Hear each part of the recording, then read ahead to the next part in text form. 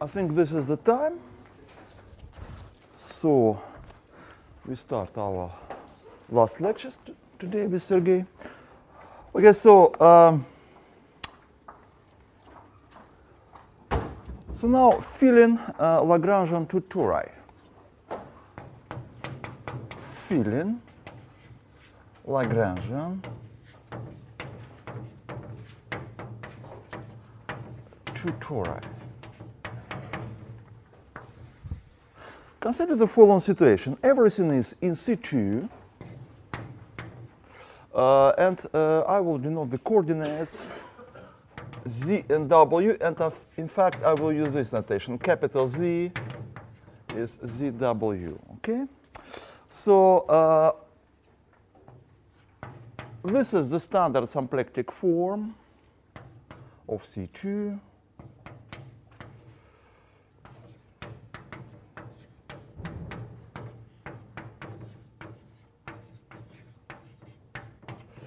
And I suppose that J is an almost complex structure which is globally defined on C2 and which is tamed by the standard symplectic form. So J is tamed by standard. Uh, so then A is the complex matrix of G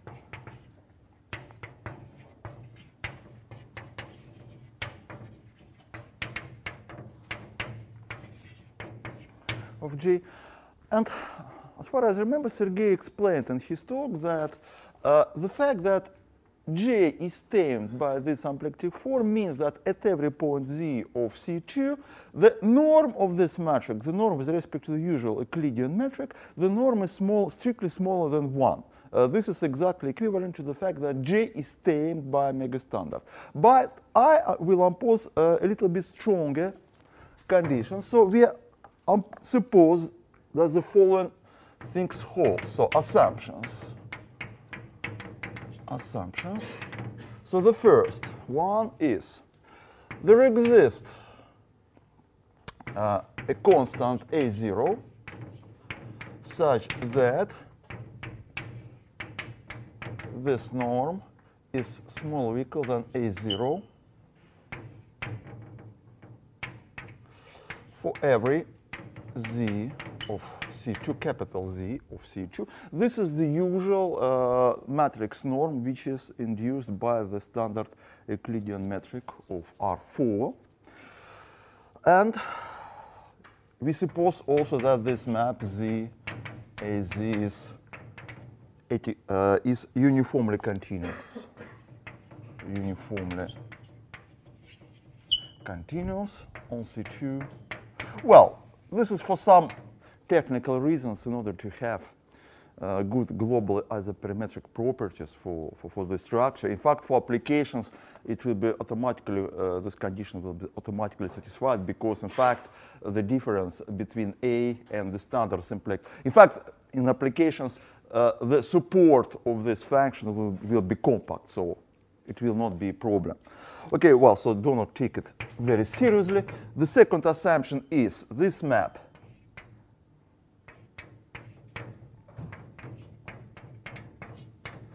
is J complex.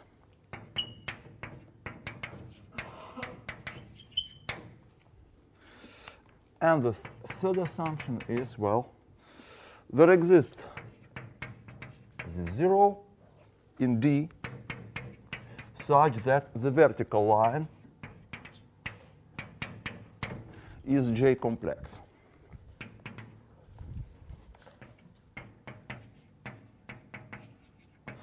So uh, the picture is the following. So we have here the unit disk D. So we have here the X W, and so we suppose that this line is J complex. Okay, this is the unit disk, and somewhere there is a point z0, somewhere here, and this vertical line also is J complex.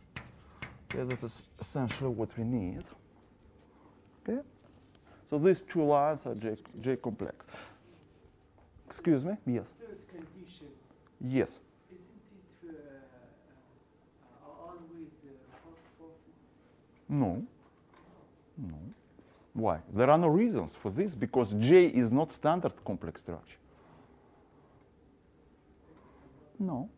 And second, also, there are no reasons for this in general. No. Uh, of course, if J is standard structure, then of course every line, horizontal or vertical, will be complex. But we, if even if you slightly perturb the standard structure, you will lose in general. After generic perturbation, you will lose. So we need to impose this. Okay. So after this assembly, so and also I denote this, I will consider this family of tori.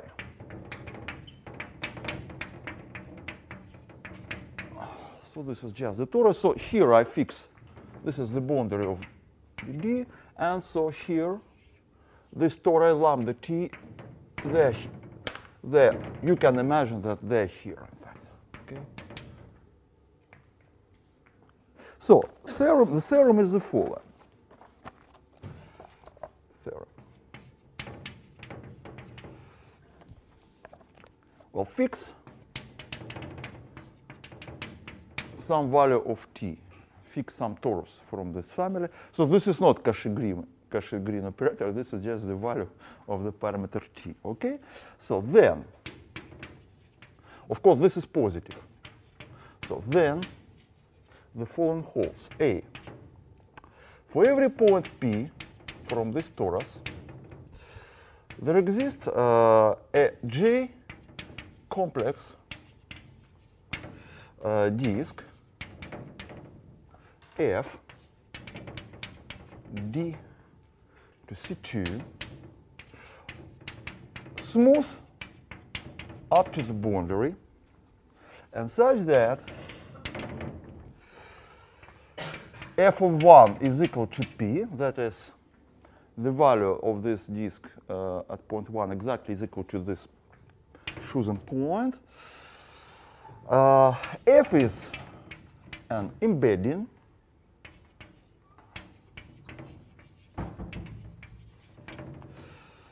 uh, the boundary of f is attached to this torus.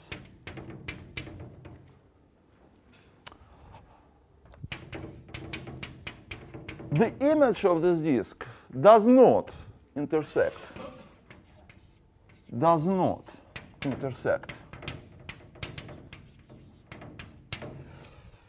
this horizontal line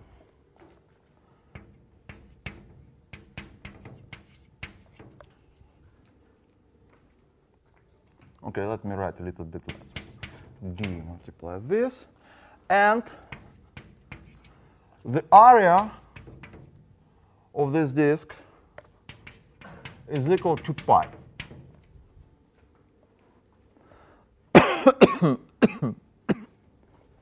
so this is the part A, the part B. Uh, the disks in the part A, when we vary this point P, uh, the disk form a C infinity uh, one parameter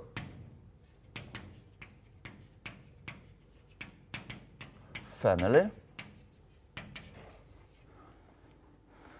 Uh, they depend smoothly on J and, and T. Uh, they are disjoint.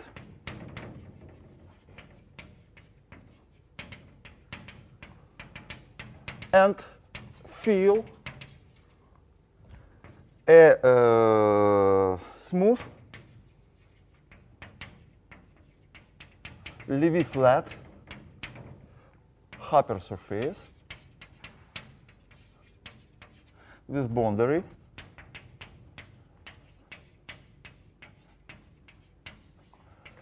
equal to the torus lambda t. So this is the theorem. Okay. So you have here the torus, and what this theorem says, you can find question, uh, that you can find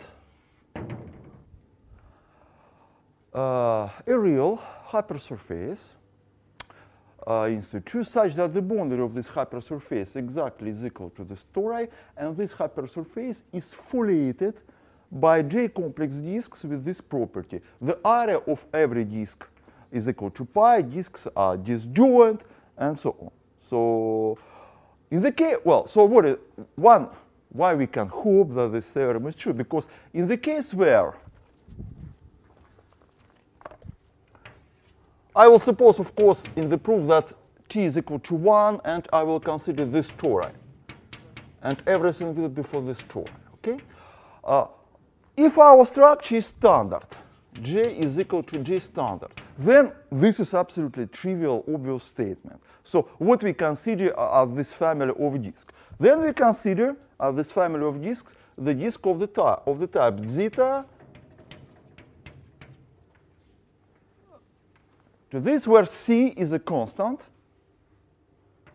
constant, such that the modulus of C is equal to 1. So we consider the disk such that uh, the images are graphs of the axis, of, of this axis, right? And uh, this is absolutely obvious. Then, even when you vary this constant, this disk fill uh, a Levi-flat hypersurface, Levi-flat with respect to the standard structure, and this disk obviously obviously have all these properties right? So what we would like to prove, we would like to prove the similar statement uh, for an almost complex structure, which is very far, in some sense, from the standard one. And you will see that this gives uh, some, uh, some practical applications uh, rather immediately. So let us prove this theorem because this is a good illustration for uh, the Gromov machinery.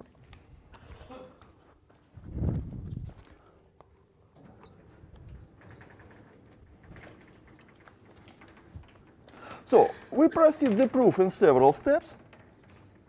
And we will proceed by the continuity method, which uh, uh, I described yesterday. So uh, the first step. Uh, so in fact, T will be parameter uh, in the of almost complex structure. So uh, Sergei explained in his talk yesterday that if you have an almost symplectic manifold, then the space of all almost complex structures is contractible and so on. In our case, uh, it is uh, quite obvious because, as I, as I told, uh, the fact that A is, uh, J is tamed by omega standard means that the norm of its complex matrix is smaller than 1. So complex matrices of tamed structures form the ball uh, in the Banach space. So of course it is co convex and obviously contractible. What I mean, uh, if we consider TA these complex matrices. When t is between 0 and 1, there, and if we consider now J, T, uh, the almost complex structure with the, complex uh, with the complex matrix uh, TA, well, then uh, every uh, then this almost then this almost complex structure still satisfy all our still still still will satisfy required properties, all these almost com complex structures are tamed by omega standard. This horizontal line will be J complex. This uh, vertical line will be J uh, uh, will be complex for every structure like this. And so uh, we will use this homotopy in the space of almost complex structures. So when t is equal to 0, J0 is equal to J standard, and where J G1 is equal our initial structure G. So we start with this one with, uh, with the structure. And so uh, I, I have to make again this picture. So we have here our disk D. We have here this 0. And this is complex line for all the structures. And this is also complex line for all the structures. Right? Uh, and so uh, now we can uh, now we continue to uh, to, now we start our deformation. So we consider here this uh, our torus, and we start with uh, this disk HC, which I wrote there.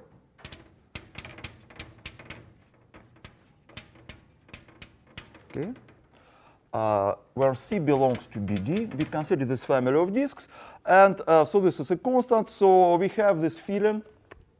So we we can attach this constant disk to our torus. Okay, this is not a problem. Now I use the notation. So W is equal U plus IV, and let us write. So uh, let us consider the following one form. This is 1 over 2 x dy minus y dx plus 1 over 2 uh, u dv minus v du. This is a primitive of the standard symplectic form. That is, we have this relation. This is obvious, right? The exterior derivative, derivative of lambda is equal omega standard. Well, so now, if we consider now uh, a disk which is closed to this one, so now let F be a J complex disk attached to lambda and close to HC, then the area of this disk F is equal to the integral to this integral, right? And we can apply the Stokes theorem, the Stokes formula. And we obtain that this is equal to the integral over the boundary. And this integral is quite obvious to compute because when you integrate this over the unit circle, you obtain, uh, you obtain immediately that this integral equal to the sum of Winding numbers of the component uh, of the map F. Uh, the Winding number of the first component, if our disk is close to this, the Winding number of this component is equal to 1, right? And the Winding number of this component, constant is, not, constant is different from 0. So the Winding number uh, here is equal to 0, right? So this integral, for every disk which is a small perturbation of this one, this integral will be equal to pi, in fact. No, it is this integral equal, this integral is a sum of of this and this when you apply every component to, to f, and it is equal to, every integral equal to the Winding number of components multiplied by pi. So the integral will be equal to pi because the Winding number of the second component is equal to 0, and the Winding number of the first component is equal to 1. Okay? So this integral always will be 2 pi. So this means that if we slightly perturb our structure, and if we slightly perturb our disk, for disks which are perturbed, we have estimate of the area. And this is good because uh, uh, there is a hope to apply Gromov compactness theorem uh, for such a family of disks. Okay?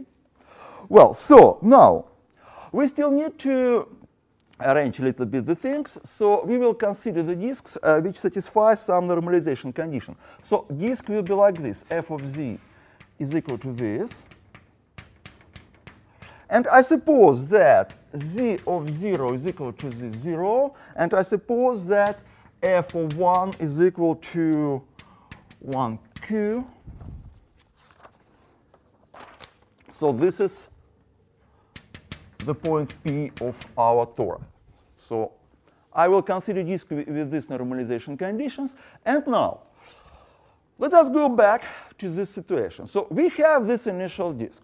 Yesterday we uh, discussed how to deform this disk uh, if we would like to uh, construct a family uh, of disks which are J-complex for a perturbed structure which is close to J0 but not J0 which is close to this one.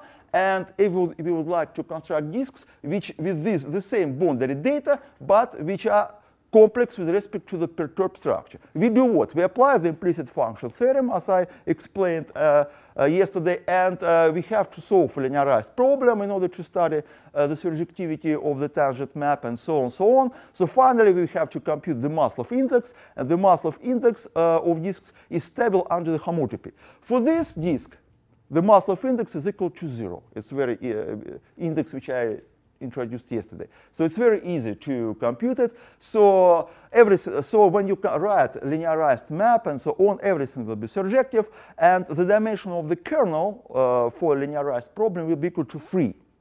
So this means that when you perturb the structure, this disk will generate a three-dimensional family of disks. But these uh, extra parameters are killed by these normalization assumptions. And so under these normalization assumptions, it's very easy to see that for a perturbed structure, uh, you will obtain precisely one disk, which is J-complex for perturbed structure, and which satisfies these normalization conditions. Okay? So our Maslov index mu so the Maslov index is equal to zero. So implicit function theorem implies that there exists a, a small delta such that for every t from the interval 0 delta, from this open interval, uh, there exists a unique J delta uh, uh, JT complex disk F uh, satisfying assumptions of our theorem. Satisfying assumptions of our theorem.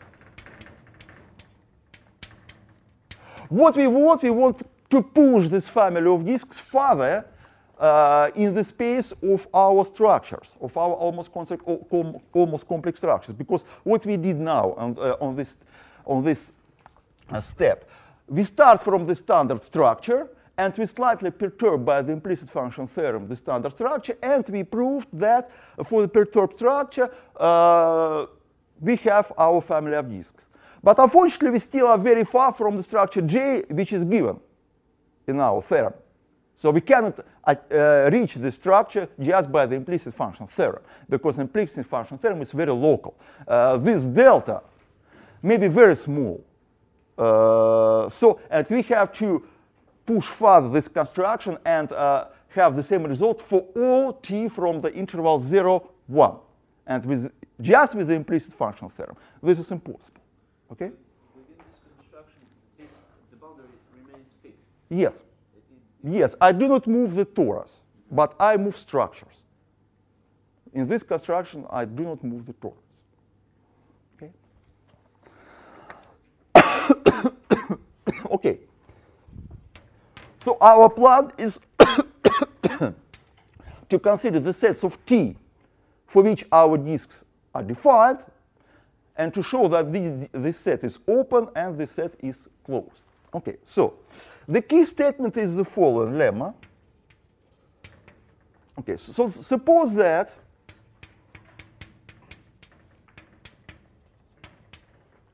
every disk ft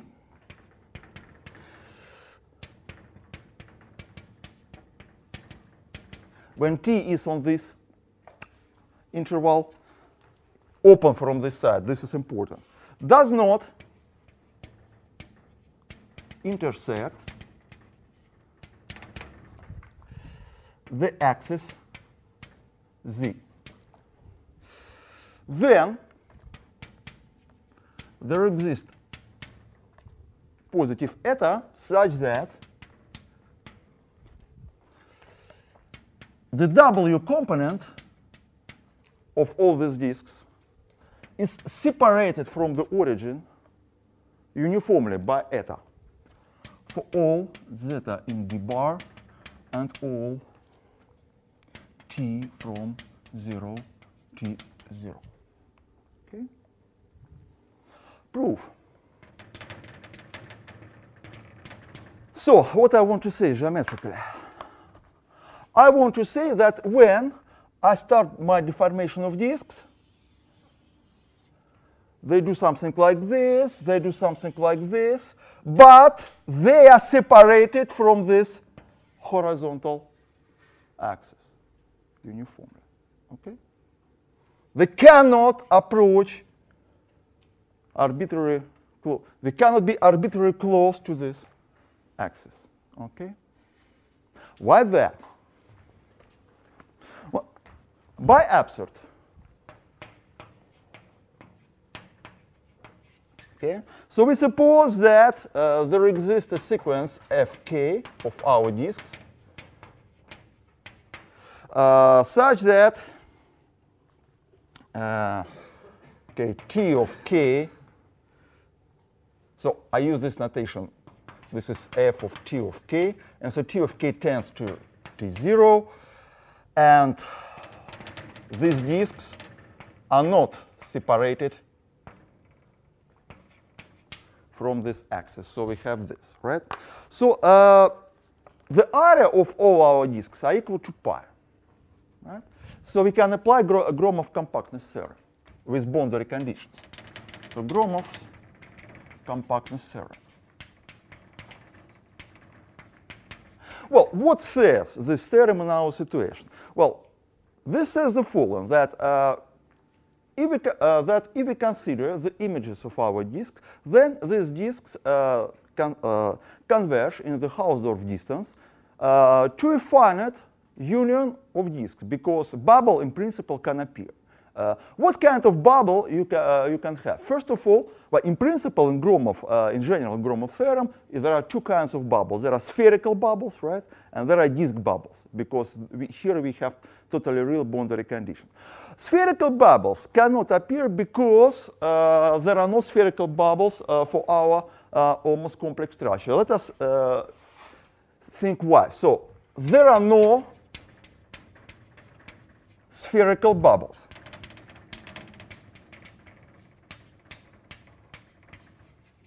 Uh, just by Stokes formula, because if you have a spherical bubble, uh, if G is a spherical bubble, so then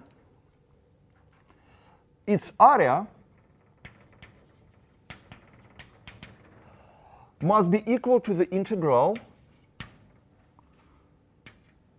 of G, the image of G from the Riemann sphere of omega, but omega is globally exact. Okay?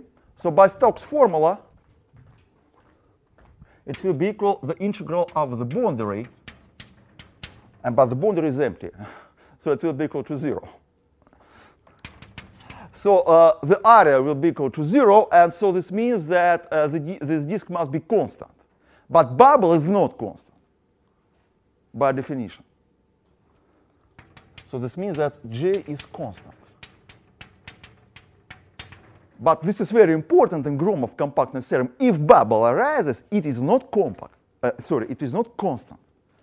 So if there are no non-constant bubbles, this means that we have perfect convergence. So there are no spherical bubbles, okay? But we still can have disk bubbles. So this means what? The limit set So this converges in Hausdorff distance, distance to a finite union of disks with boundaries attached to our torus lambda by Gromov compactness theorem. And this is a connected union, and so on. So, and uh, after suitable reparameterization of our sequence of maps fk by uh, conformal isomorphisms uh, of the unit disk, you can obtain a sequence of maps which converge to every disk from the, to every disk from this set. This is Gromov compactness theorem, essentially, in our situation. Okay. If you do not parameterize, so you still have some convergence outside a finite set of points. If you uh, to some disk, which we, we can call principal disk. If you reparameterize, then you will have a convergence to, to the first bubble. You again reparameterize, you will have a convergence to the, to the second bubble and so on. And like this finite number of times. Okay? So, now let us, so, okay, so one, at least one of these disks must touch this axis, right, by our assumption. At least one of these disks, so at least one of these disks touches this axis. Right? and we can reparameterize our sequence such that uh, inside the disk, inside the disk, we have uniform convergence by Gromov compactness theorem. Everything is fine. It must be interior point of the disk because the boundary of the disk is glued to our toric lambda, so the boundary is separated from the axis. So it will, that it will be in an in interior point. Well, now I have to use uh, the, uh, the, notion of positivity and stability of intersections of J-complex curves, uh, which in principle is very, which we did not discuss in our course, but in principle is very easy. Uh, th this is quite similar to the uh, uh, proper classical properties of complex analytic sets. So we use positivity and stability of intersections indices of J complex curves. Well, essentially, this is uh, a consequence of uh, the things which Sergey uh, discussed yesterday in his talk. What I want, uh, what, what consequence we need in our situation? Only one.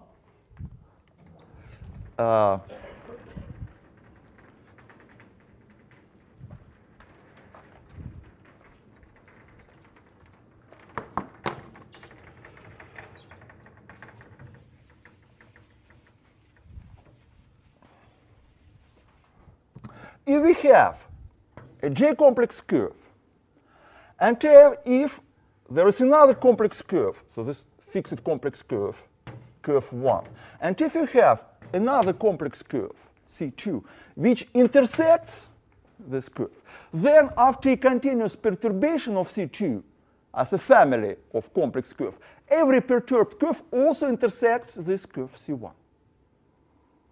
This is. So this is a fundamental property of J-complex curves, which is essentially corollary of intersection theory, which yesterday uh, Sergey described in a more general situation, in fact. So if C1 and C2 are J-complex curves, complex curves, with non-empty intersection, then all J-complex curves. Close to C2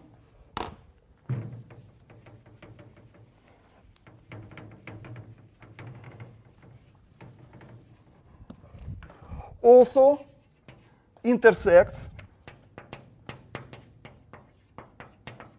intersects C1. This is not true for uh, just for real varieties, because, for instance, if you are in R2 and if you consider two real curves, it's obviously wrong, because, for instance, you consider this, right? And you now you, you move slightly this x here. So after perturbation, you have no intersection, right? But for complex curves, in a complex two-dimensional manifold, this is always true, okay? And this is fundamental thing fundamental property of complex curves. Uh, for standard, for integrable structures, you can find it in any book on complex geometry uh, about complex analytic sets. And this is true for J-complex curves. It was written without proof by Gromov uh, in his uh, celebrated paper, and then it was a zero. It is a hard result, in fact, technically. It is not obvious at all uh, to prove it, because technically it is difficult, and it was a series of papers of Dusa McDuff, uh, and Micallef White uh, and Jean-Claude Sikorav, and finally uh, this uh, was absolutely correctly and completely proved. Okay, so this is in fact a hard theorem in some sense. One can make a, a separate course about this, but this is true. Okay, so now we use this and we go back to our situation. So we obtain the contradiction immediately because this means uh, uh, this, uh, this general principle now means that for k big enough, our disks fk also touch our axis, which is wrong because uh, they're, because they are separated. So applying this, we obtain a contradiction. So we obtain a contradiction.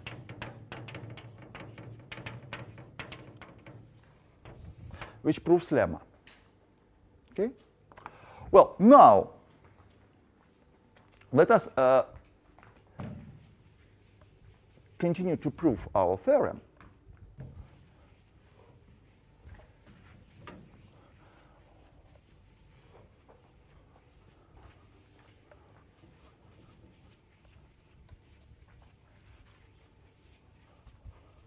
Well, now I pretend that in fact, bubbles cannot appear at all.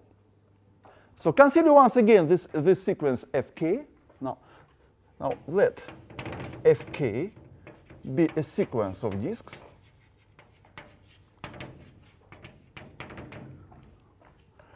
So such that fk corresponds to the value of the parameter tk, and uh, tk tends to t0.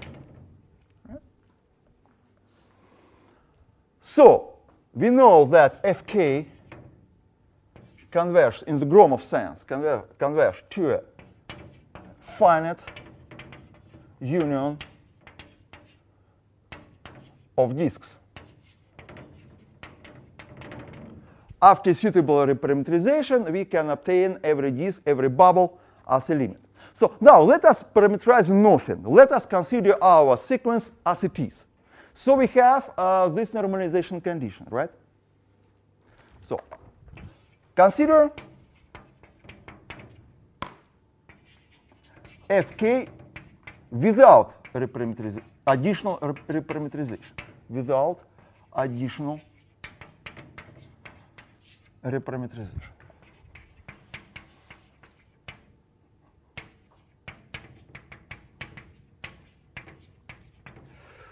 Then, by Gromov compactness theorem, uh, Fk converges to some disk which I denote F infinity. And this is a convergence which is uniform on every compact uh, of the closed disk outside a finite uh, number of points. Converges uniformly on every compact subset of d bar minus finite set of points where bubbles occur. And since we have only disk bubbles, this finite set must be in the boundary of our disk. So this is, in fact, subset in the boundary of disk, since we have no spherical bubbles. If, point, if the point is interior for the disk, only sphere can arise there, and there are no spheres. Okay, so in particular, on every compact subset of the open unit disk, we have uniform convergence. Okay, so this means that this limit disk satisfies uh, at least this normalization condition, right? So it is not constant because its boundary is glued to our torus. The boundary of every disk is glued uh, to uh, our torus by the Gromov compactness theorem since we have a removable singularity theorem on the boundary, right? So convergence is not on the whole closed disk, but the limit disk has the whole boundary attached to our torus. This is not a problem by Gromov compactness theorem. Okay, so so then, so we have this disk, and we still have this we have we still have this condition, which means that this disk is not constant. What is the area of this disk? The area of, of this disk is equal to this integral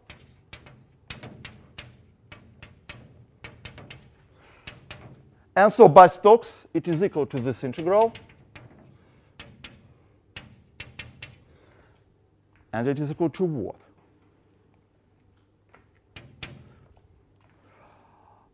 It must be equal to what? To y. Uh, it must be equal to uh, y number. Uh, uh it is pi. So the sum of winding numbers of components. Right? But the winding number of second component is equal to zero by our lemma because the second component is separated from the origin. So this is a function which does not vanish in the unit disk. So its winding number is zero. Right? So on the other hand, uh, the area must be positive because our disk is not constant. So this means that the first uh, winding number must be equal to 1. It can be bigger than 1 because area can, all areas are equal to pi. So the only possibility, so the first is equal, winding number must be equal to 1. The second must be equal to 0 by lemma. So it is equal to pi. Right? But now, if we consider other bubbles, we see immediately that uh, they cannot appear because the area of every bubble is not, uh, cannot be equal to zero. If bubble arises, it is not constant. And the sum of the total sum of areas of bubbles cannot be bigger than the total area of our of, our, of, of disks of our sequences. So there are no sufficiently energy for arising of bubbles, and this is very typical situation application of Gromov compactness theorem. So we so but every, bub every bubble is not constant. So this means that its area is positive. So this means that there are no bubbles. There are no sufficiently energy for, bu for bubble arising. So this is very typical situation which Gromov, Gromov calls sometimes simple homology and so on, because this is combination of some topological reasons which implies, and together with energy estimates, which implies non-appearance of bubbles. But then we are practically done because now we obtain what? We obtain that there is just single disk in the limit. And so by Gromov compactness theorem, there are no the set at all. The set is empty, so the convergence is perfect. We have a uniform convergence on the closed disks to F infinity, and so it will be convergence in any CL norm on D bar. So by Gromov compactness theorem,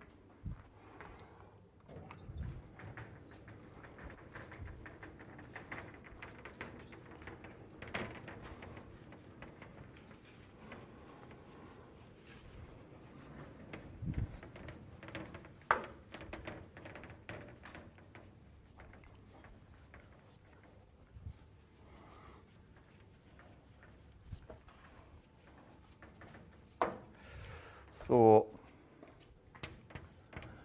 by Gromov compactness theorem, Fk converges to F infinity in every CL d bar norm. In particular, F infinity has the same Maslov index as all disks Fk. That is, its Maslov index must be equal to zero by continuity. Because you remember Maslov index is the winding number of some coefficients which we apply when, which we obtain when we linearize uh, our boundary value problem and so on. So it uh, depends continuously on all perturbations. So it must be constant because uh, uh the winding number is always an integer. So here we have continuity by Gromov compactness theorem. So Maslov index of the limit disk must be the same. So Maslov index mu of f infinity is equal to 0. Now I apply to f infinity uh, the implicit function theorem. So we apply to f infinity the implicit function theorem, right? And we obtain that uh, this, uh, this disk f infinity uh, generates a one parameter family of disks. So f infinity generates generates a one parameter family of disks for the structures for the structures JT when the parameter T moves. And all our disks Fk are in this, uh, are in this family by the uniqueness uh, statement of the implicit function theorem. So finally we obtain what? We our, our disks are defined here, right? And we succeed to extend our family of disks further to a neighborhood of the point t0. First, we extend our family to the point t0 by this construction. Then we apply implicit function theorem, and we push it further. So we extend our family of JT complex disks on 0 for some epsilon positive. So we obtain that the set of T for which our disks are constructed is closed and open, so it coincides with the interval 0, 1, which proves the first part of the theorem.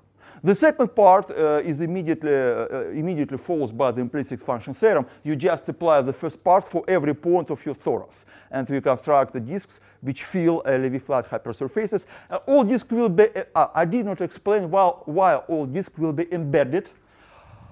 Uh, this is again, in fact, this is not a simple thing.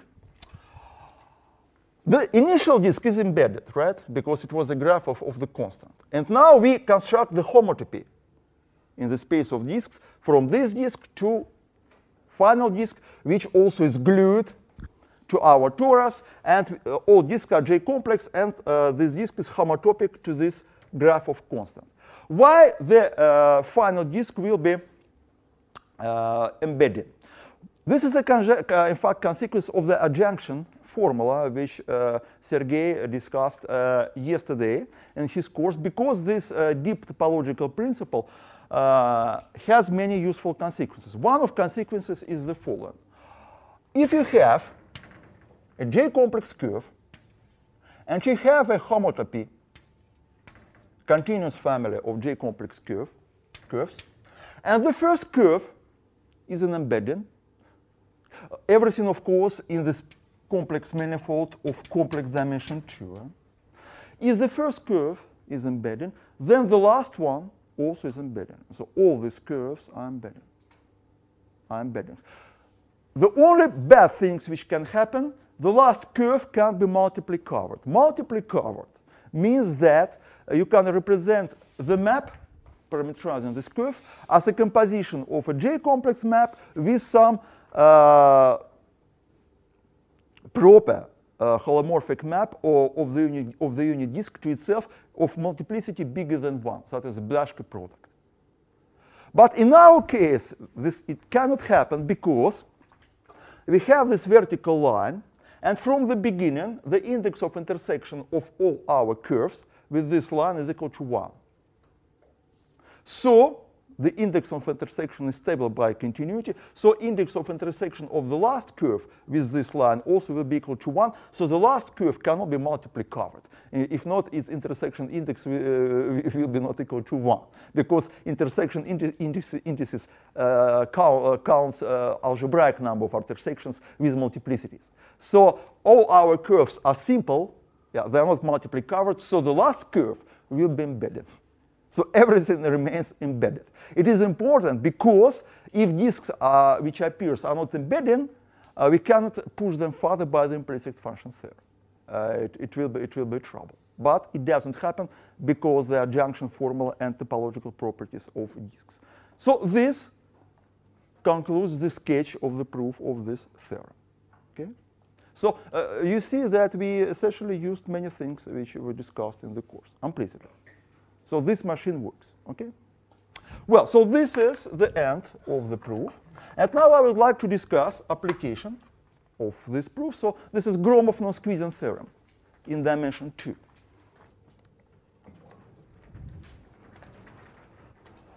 So, Gromov's non-squeezing theorem.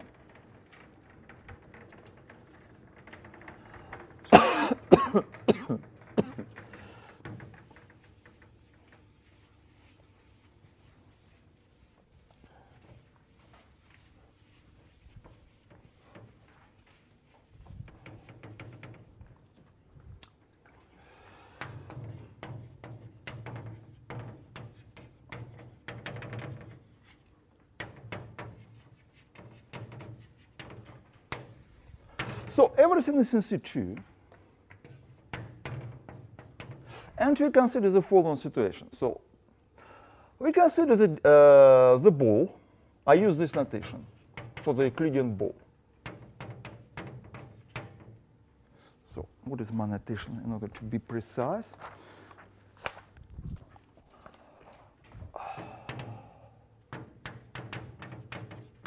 So we consider the ball of the radius r small. And here we consider the following situation. We consider the disk of the radius capital R, and we consider the product of this disk with C. So this is this product, RD multiplied by C. So this is our domain. And in this product, we consider a subdomain, which I denote by G so G is compactly contained in this product. Okay. Well, so now I suppose that there exists a map phi, which is diffeomorphism. So there exists phi, diffeomorphism between this ball and which is diffeomorphism.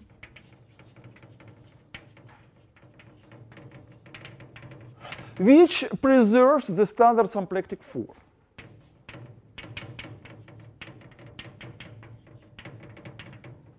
Uh, such diffeomorphism is called symplectic, or symplectomorphism, which preserves the standard symplectic form. Okay? So now theorem. If we have all this, then R small is smaller than capital R. So this is Gromov's non-squeezing theorem. Well, what is the meaning of this theorem, in fact? So this means what? You have here the ball of the radius r, and you consider its symplectic image, right, on this domain. It is symplectomorphic to this domain, right? So if this is the case, then this r cannot be smaller than this one. So you cannot symplectically squeeze the ball. Embed it symplectically to something which is smaller, like this. Okay? You cannot squeeze it. Okay? Uh, what is the meaning of this theorem? This theorem means that symplectic diffeomorphism, diffeomorphisms uh, have a very special, form a very special class in this whole class of volume preserving maps. Because it is quite obvious if you consider just the volume preserving diffeomorphism from this ball to this domain, there are a lot. Even if when R is smaller than this R. You can consider here a very narrow domain, and this uh, domain will be very long, right? And you still can pro uh, produce very easily a diffeomorphism from this ball to this domain, which uh, is, uh, uh, it is not a problem, and the volume will be the same, right? It's very easy. So there are no any restrictions on R and on R small and R big. But if you do it symplectically, it is impossible. You need this restriction. It can be very narrow, and this is a very precise estimate for this. So this means, for instance, that the ergodic theory, which studies volume preserving maps, is not an appropriate tool in order to study symplectic phenomena. In symplectic topology, in symplectic geometry, uh, new phenomena arise which cannot be explained just by ergodic tools. Just by, you cannot study symplectic maps just, by, just as volume preserving maps. They have a lot of additional properties. So this is uh, one of the most uh, uh, known results uh, from Gromov's paper applications. Uh, and you will see that this is easy consequence of the previous theorem. So let us prove. So proof.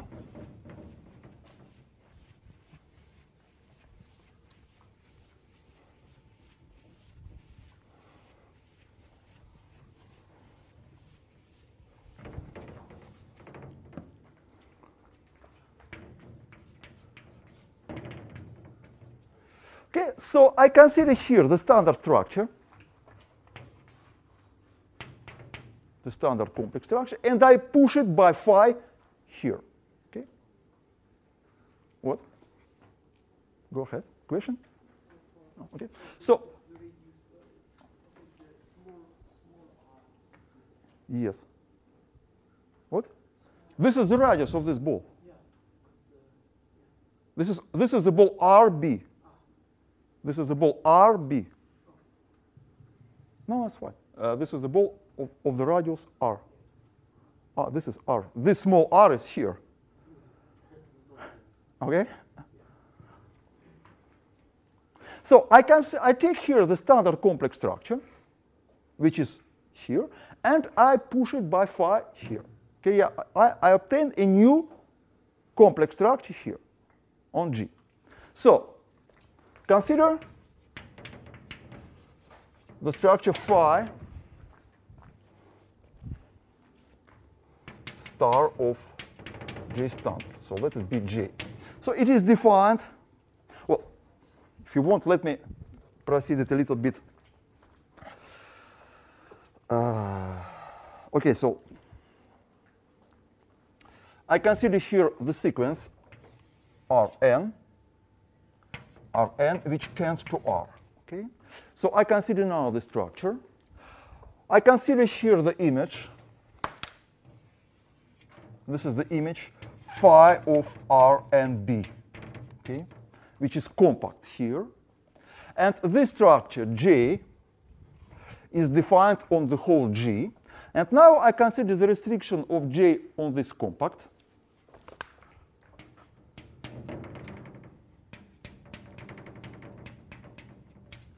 And I extend it from this compact uh, as a structure uh, which is smooth everywhere on C2 and uh, which coincides with the standard structure outside of G. How I do it? I just consider the complex matrix of, this, of the structure J on the, on the set, and I multiply this by a suitable cut-off function. Uh, and then I consider the corresponding almost complex structure. So we uh, extend it, extend it on C2 as an almost complex structure, as a C-infinity almost complex structure, such that almost complex structure J tilde, such that J tilde on C2 minus G bar coincide with J standard. So now we have the structure J tilde, which is outside of G. Our, my structure, uh, my structure J tilde is standard one. Okay. So its its matrix its matrix A vanishes outside of G. Okay. Its complex matrix A vanishes outside of G. So we can apply our theorem. We can apply our theorem. And by our theorem, we do the following things. So we consider here the origin. We consider, we consider here the point, the point Q, which is the center of the origin, right? And now I claim that there exists some torus here such that some J complex disk constructed in my theorem at, with boundary glues to this torus contains this point. So by theorem, there exists a J tilde complex disk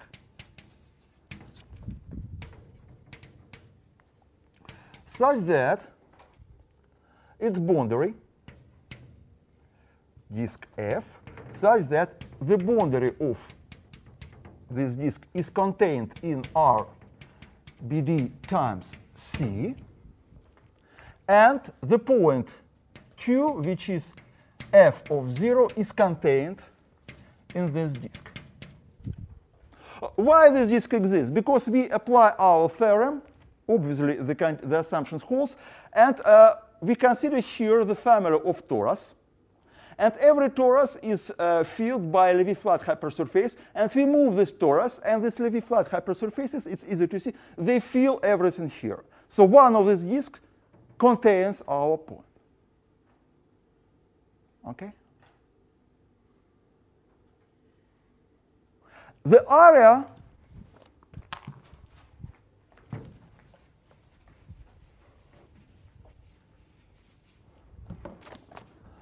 the area of this disk must be equal to pi r squared. r squared appears because here this is not the unit disk, this is the disk of the radius r. So uh, the area will be pi r squared by our, uh, by our theorem about constructions of disks. And now we can consider the following. We consider the, the, this part of our disk, this intersection. So we consider uh, xn, which is uh, the pullback of f and d intersect with phi of rn b. Okay? So I consider the intersection also.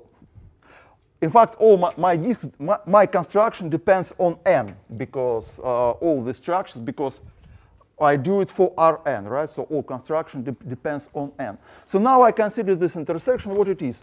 This is the piece of my disk which is here. Uh, the area of this piece is smaller than pr squared because this is a subset of my disk. On this part of my disk, phi is a biholomorphic map. It is biholomorphic with respect to the standard structure and the structure which I transpose by phi. It is biholomorphic. So this is usual complex curve which is here. It is complex curve with respect to the standard structure, finally, because it is image of holomorphic map.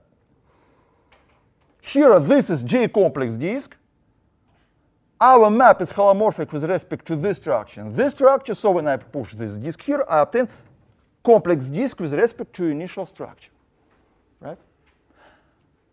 So this is usual complex one-dimensional set. And the area of xn is smaller equal than pr squared. Why this? Because our map is also symplectic. It preserves symplectic form, so for complex analytic curves, it preserves this, it's their area. So area will be the same because our map is symplectic.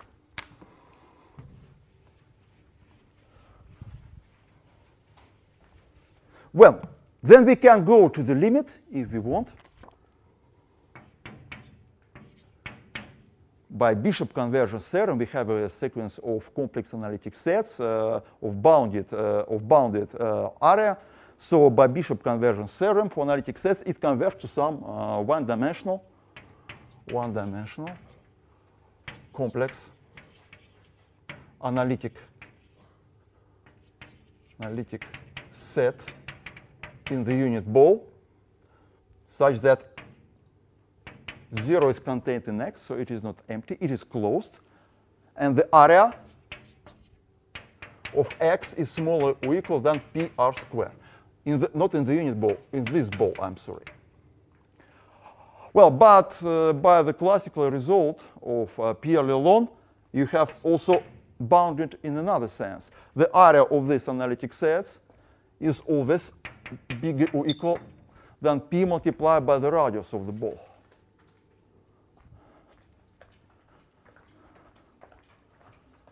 So if you have a complex analytic set here which contains the origin one-dimensional complex analytic set, then its area will be bigger or equal than pi multiplied by r squared. This is the result of Pierre Lelong. He obtained it in the 50s.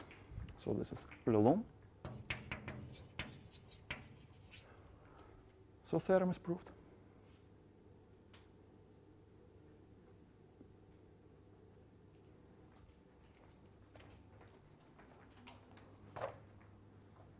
So ideas uh, very typical for Gromov theory. What we did, uh, we perform a real change of variables, essentially, which is a rather unusual thing for classical complex analysis. Uh, phi is not a biholomorphic map with respect to the standard structure here and here. So we transport this structure by phi, and we view phi as a biholomorphic map for this structure. Now, uh, the geometry after this, so of course, in complex geometry, many obstacles uh, uh, occur when because people consider usually uh, biholomorphic maps with respect to prescribed complex structures. If you do this, there are many obstacles. If you allow to consider essentially real transformations, then a lot of topological and geometrical problems disappear. But the price to pay is that here Cauchy-Riemann equations for this structure become nonlinear. As we saw it, we obtain a quasi-linear system of Cauchy-Riemann equations, and we have do analysis which is much harder in order to produce here holomorphic objects for this structure. But when we do it, we obtain interesting, interesting objects here, just pushing back our structure. And this is very typical approach for Gromov theory. So finally, I, what, what, is, what we obtain at the end? We produced with all this machine, we produced in a true analytic set with, with respect to the standard structure. Using all this machinery with Gromov compactness and so on, so on, we produced a true analytic set. Okay. Okay, so this concludes the proof uh, of Gromov non-squeezing theorem, and uh, Sergey in his lecture today will prove this theorem in any dimension by, uh, by, other, by other methods, in fact. Okay, so uh, this is done, and in fact, I have no time in order to to go uh, to give other proofs of other things. So I will just explain a bit other results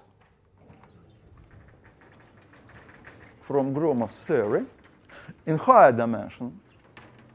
So I will just state this result without proof.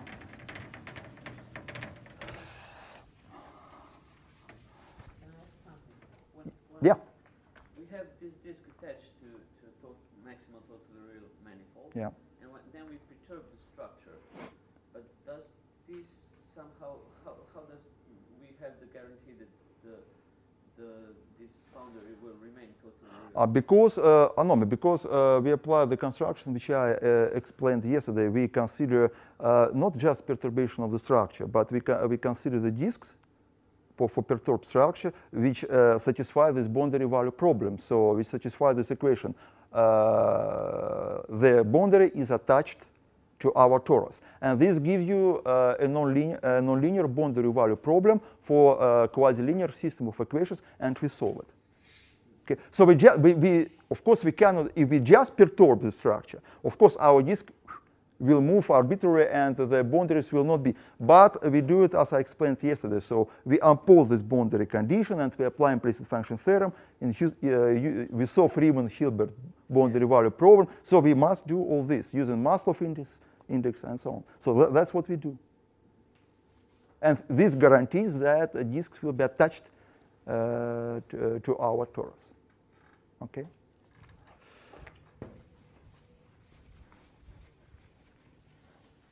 Unfortunately, it does not work in higher dimension. It Doesn't work directly. So in higher dimension, I just, uh, just, I will just say one word about very striking result of in Gromov's paper. So high dimensional case. Just a general definition. Let E be a, well, in Cn, be a compact uh, real submanifold of real dimension n so we say that E is Lagrangian if uh, the restriction of the standard symplectic form on E is equal to zero. For instance, the tori, uh, the tori which I considered in uh, my theorem today are Lagrangian. This, they obviously satisfy uh, the, uh, this assumption. Okay, so we have this. Uh, please, uh, this condition, uh, not necessarily in general, not necessarily imposed, but uh, I impose it intentionally because we are speaking only about Lagrangian manifolds or, of maximal dimension. One can show, this is a good exercise, that every Lagrangian manifold is totally real. Is totally real. For, I'm speaking about the standard complex structure now. So Gromov theorem is the following. Uh, let E be a compact Lagrangian manifold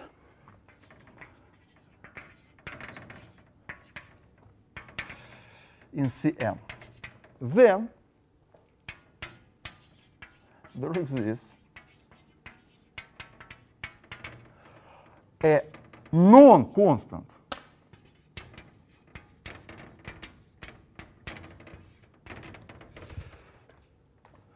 J standard complex disk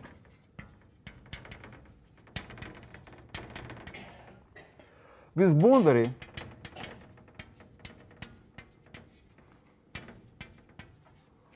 glued to E.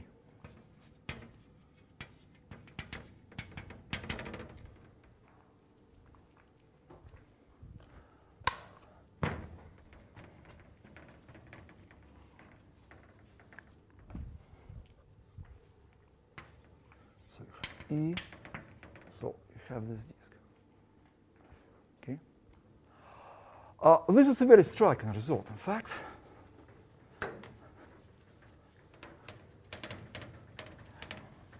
And its proof requires a very deep modification of this uh, two-dimensional approach because the continuity method also is behind uh, this proof, but it is applied in a totally different way. In fact, uh, uh Gromov consider the space of maps which satisfy non-homogeneous non d-bar equation and the boundary these boundary conditions. So he considered this, the solution, uh, and uh, the space of these maps uh, is called uh, the moduli spaces uh, often of uh, complex curves. Uh, and uh, this is a, Banach manifold of infinite dimension. And in fact, uh, he uses a very clever version of the implicit function theorem, not, not the very elementary version which I described, but substantially more advanced version, which is called the Sard-Smale theorem, and so on. And actually, he argues uh, by absurd, and in fact, these disks appears as a bubble. Because in my proof, uh, which I explained there in two-dimensional situation, uh, the main idea was to prove the absence of bubbles, and this uh, allows to, uh, to produce a very nice family of disks and Levi flat hypersurfaces and so on. Gromov idea is very different here. Gromov, and in fact, this construction, which I described in C2, uh, the, uh, the roots of this construction are very fine complex analysis. There are uh, classical papers of Bedford, uh, Gaveau, Bedford, Klingenberg, and other uh, specialists in complex analysis who uh, applied continuity method in two-dimensional situation, and then after 80, uh, uh, um, the end of 80s, uh, people stopped because it was a big problem, how to go to higher dimension. And in fact, Gromov solved this problem uh, with very original idea. He produced just single disk, not family of hypersurface, not family of disks, not Levi-flat hypersurfaces, not just a single disk, which in fact in his proof appears as a bubble. And this is very original and absolutely beautiful idea, which unfortunately I cannot explain because uh, I need at least one, one course for this. But it is written, in fact, in my notes, so if, in principle, you must have it uh, today. Well, so, so well, you can read. Just one application of, uh, this, of this theorem, which also is in details explained in my notes. Very elementary consequence of this theorem, but I think rather striking existence of exotic symplectic structures. Exotic symplectic structures on R2n. Suppose that you have omega, a symplectic structure, a symplectic structure on R2M. It is called exotic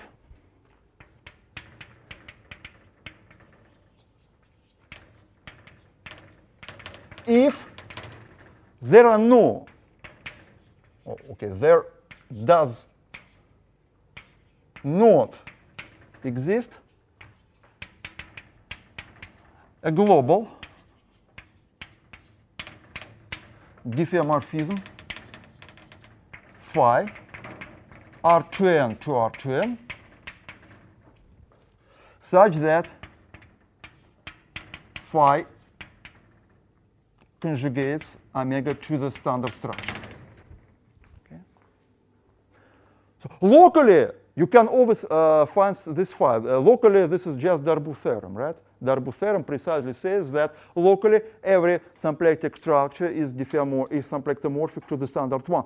But uh, if it is impossible to do globally, we say that omega, that omega is an exotic symplectic structure. It is not globally equivalent to the standard one. So consequence of this Gromov theorem is, so corollary,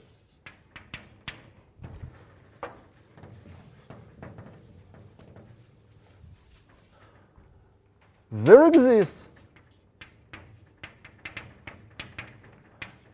an exotic symplectic structure.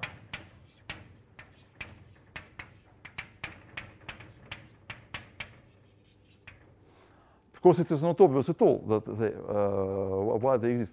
Uh, and in fact, in order to construct the symplectic structure, you need to prove this, uh, you need to use this theorem and just uh, to obtain, this theorem gives some very interesting topological restrictions uh, on Lagrangian tori, which are Lagrangian with respect to symplectic structure, and this allows to construct exotic symplectic structure. Because if you try to do it by hand, it does not work. So it is very interesting corollary of this theorem. Well, so it is written in my notes, and so I just sorry for this that I have no time to explain it. So if you have, if you will get this notice finally, and you, if you, you will have any questions, I will be happy to, to discuss it with you during the time which we still have, during these two days. Okay, so I stop here.